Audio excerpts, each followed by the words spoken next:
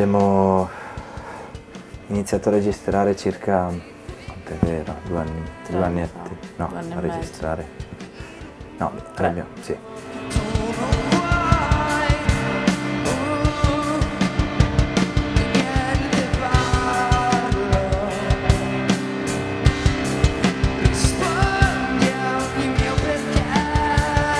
No, siamo partiti prima di registrare a fare canzoni. Ne abbiamo fatte veramente tantissime Dopodiché abbiamo detto cosa registriamo. Ho detto registriamole un po' tutte così vediamo poi alla fine, scegliamo le migliori. E poi abbiamo, siamo riusciti a registrarne una trentina e poi ne abbiamo scelte praticamente tutte. E perché ci eravamo affezionati quasi a tutte, anche quelle che abbiamo lasciato fuori un po' mi dispiace però così funzionava, respirava, il, il, disco respirava, con quelli in più era troppo forse, con un, anche solo uno in meno mi sembrava un po' indietro, quindi così è il numero perfetto.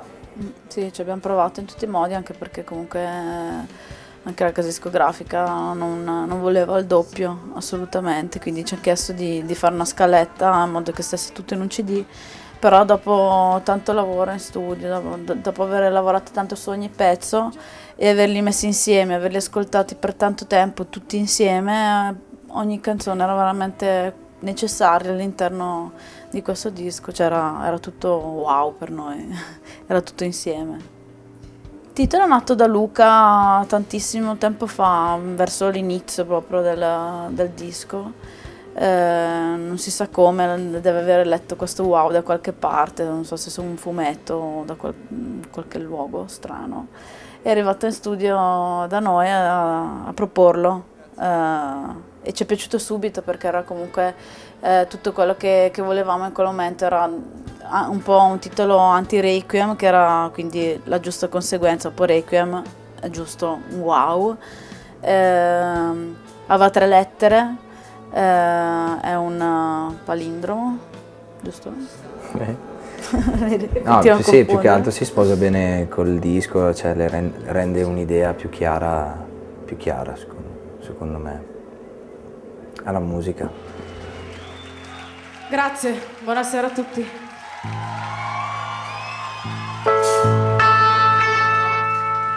Qualsiasi canzone sia mi metto al piano ultimamente e inizio a cantare un po' a caso quello che mi esce. Poi non mi piace mai niente all'inizio di quello che faccio, quindi continuo a riprovare. Non lo so, è un po' strano, ogni... un po' duro a spiegare come si scrive un testo, cioè almeno come lo scrivo io. Ma hai abbassato il piano, scusa, per, per caso? No? Ok. Vuole un po' di tempo prima che mi abituo alla canzone. Sì, anche perché Almeno comunque lui scrive, quando scriviamo i pezzi, il testo in italiano arriva solo alla fine. Mm. Noi scriviamo comunque una sorta di inglese, comunque lui fa, definisce la linea vocale, che è la cosa tra le più importanti eh, però questa linea melodica lui non la canta in subito in italiano, la canta prima una sorta di inglese mm. e quindi magari dopo lavoriamo su un pezzo per anche tanti, tanti giorni e ci abituiamo a certe sonorità proprio anche nel testo che lì ci siano determinati suoni piuttosto che altri e quindi quando lui si trova a fare il testo in italiano cerca di inseguire questa, questa caratteristica, nel senso mettere in quel punto la O, no. in quel punto la A, la R. Sì, è un po' la... come giocare all'enigmistica o fare un po', un po' matematico come tipo di scrittura, quasi scientifico in certi punti. C'è molto, non, molto basato sul suono la situazione, ma al contempo deve dare un colore positivo o perlomeno deve far sembrare più bello il pezzo se non ce la fa ovviamente il pezzo va scartato. Secondo me l'unica cosa che può aver influenzato veramente il disco è stato l'ascolto di Brian Wilson per quanto riguarda l'impostazione proprio vocale, quel modo di fare certi cori.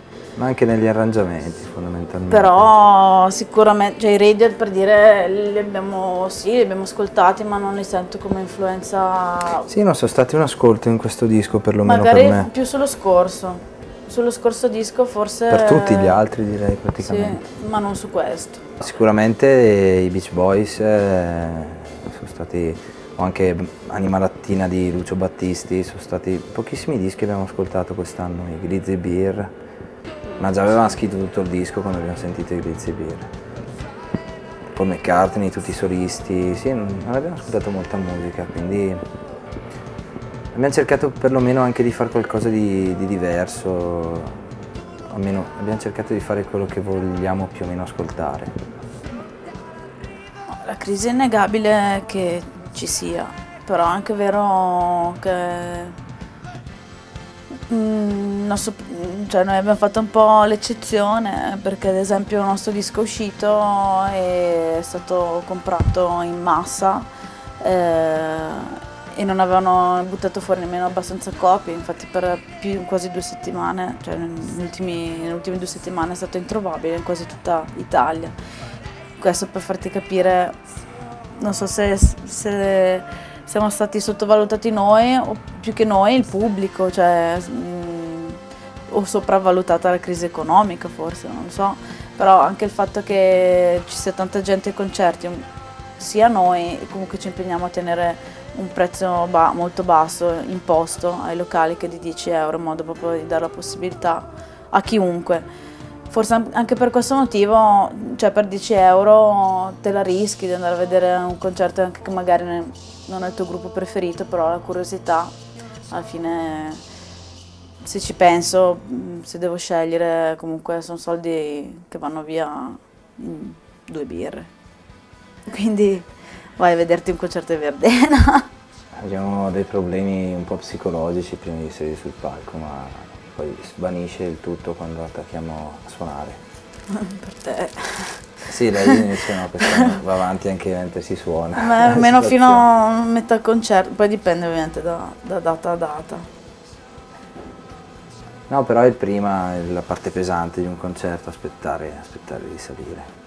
Vorresti salire già alle 8 invece devi aspettare fino alle 10. Sì, sì, quando inizia a salirti dai, dai, andiamo a suonare, dai. E devi stare a aspettare, è un'agonia, mm, non riesci a mangiare, non riesci a fare niente, non riesci a parlare con, neanche con... Sì, direi che adrenalina che gira manetta nel corpo, è comunque una cosa bella e positiva, alla fine ci si sente liberatissimi.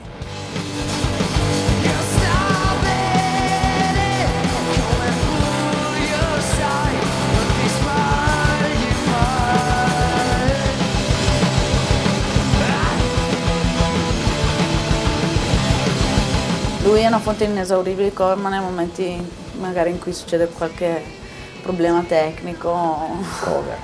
cover. Magari sì, esatto, magari scoppia la cover. Però non, non sono cose organizzate, nel senso, anche perché a malapena abbiamo fatto in tempo a prepararci i giusti pezzi vecchi anche per, per l'inizio del tour, perché comunque gli ultimi mh, due mesi e mezzo li abbiamo passati in, in sala prove con una nuova persona che è Omid che viene in tour con noi a fare tastiere, chitarre e voci. E ovviamente per lui doveva impararsi tutti i pezzi da zero e quindi abbiamo provato quasi solo wow per buona parte, poi abbiamo iniziato anche a riprovare i pezzi vecchi, però ce ne sono ancora molti che dobbiamo eh, riprovare per rifare dal vivo.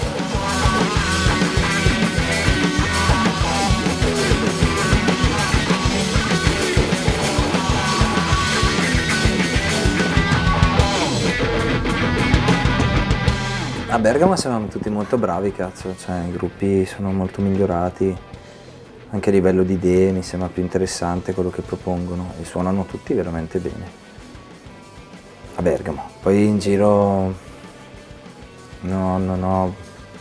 Eh, stiamo tornando adesso mm, on the road, diciamo, quindi adesso veniamo magari a conoscenza di quello che c'è un po' in giro. Negli ultimi tre anni siamo rimasti in studio o se uscivamo vedevamo appunto gruppi di suonare, ma di Bergamo. Però effettivamente da, cioè la scena bergamasca ad esempio dà ottime speranze perché comunque ci sono ottimi gruppi, molto diversi anche uno dall'altro. Cioè non è più, magari, non so, negli anni 90 tutti facevano un certo tipo di rock, invece se devo pensare a tre gruppi di Bergamo che, di nostri amici fanno tre generi totalmente diversi. Sì, sempre nell'ambito rock ovviamente. Sì, sì. Bello, bravi.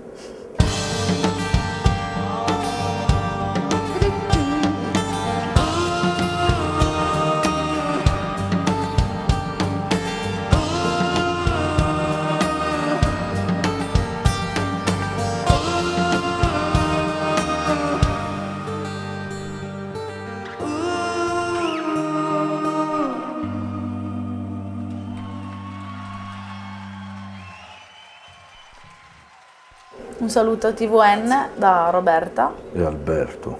Verdena.